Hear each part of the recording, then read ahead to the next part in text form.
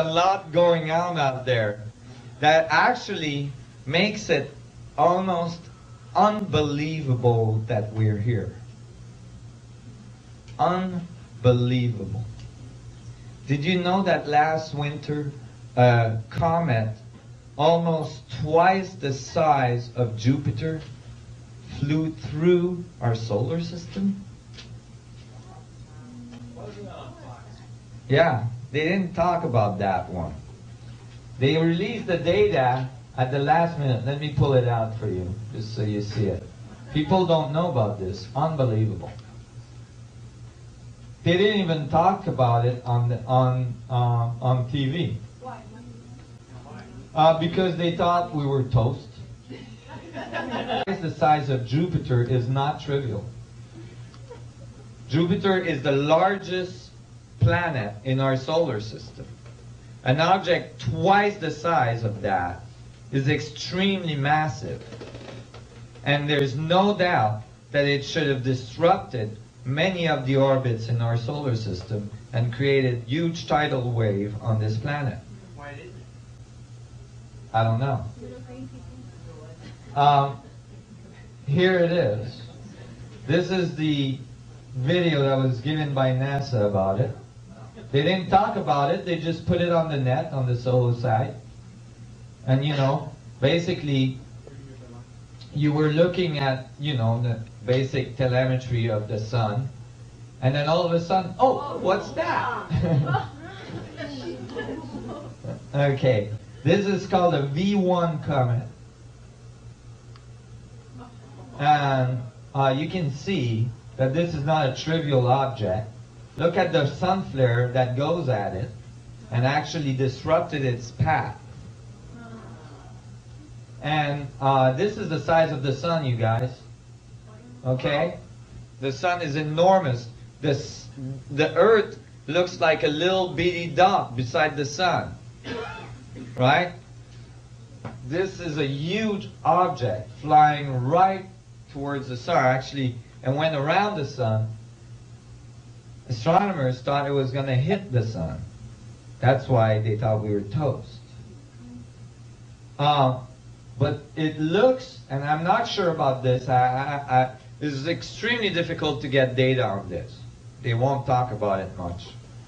But I think that it didn't hit the sun because of this sun flare that actually moved it away.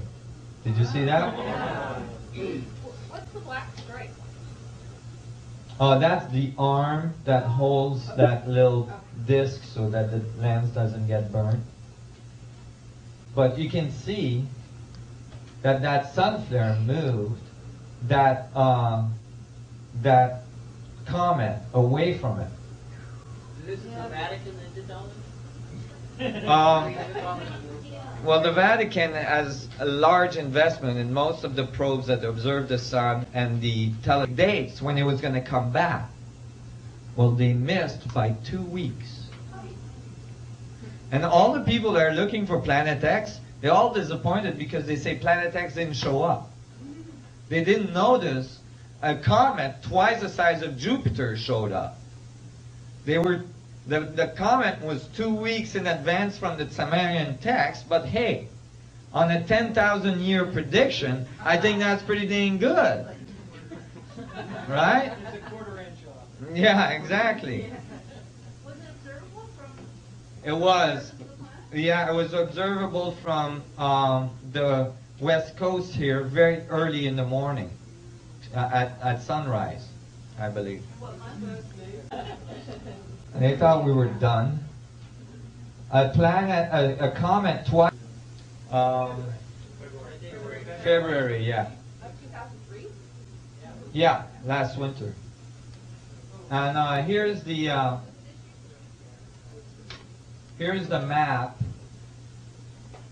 When I updated it and it showed the comets, and there was two comets that went by, one after the other. Now let me play this in slow-mo. This first comet came by, which is already enormous. And then this one. Check this out.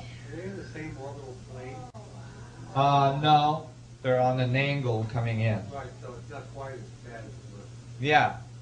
However, the gravitational field of an object that big going inside the Mercury orbit should have pulled Mercury right into the sun. Oh. And, and look at look at the tail when it's at the sun, the tail is still in the Earth's orbit.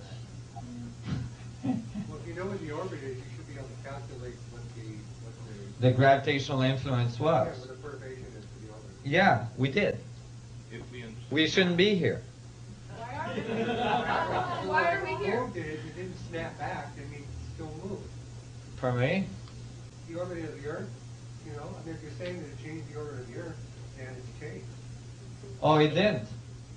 Because if it did change the orbit of the Earth, it would have changed. The the calculation showed that it would have changed it significantly, Okay, well, and uh, a significant change in our orbit would have generated tidal waves and all sorts of events on the surface of the planet that we didn't see.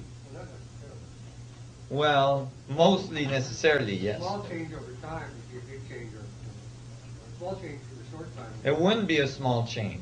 It would be a large change, including Mercury going into the sun behind the comet. you know, uh, you're talking a huge gravitational field here, extremely large. Uh, I believe that we were given another chance. We're really not here, we just think we're. Well, I think we're floating in grace. We're definitely floating in grace at this point, and somebody is taking care of us.